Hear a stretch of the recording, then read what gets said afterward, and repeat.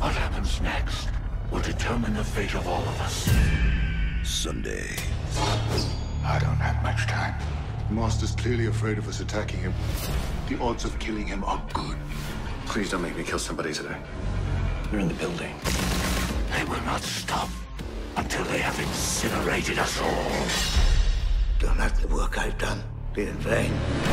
The Strain. All new Sunday at 10 on FX and FX Now.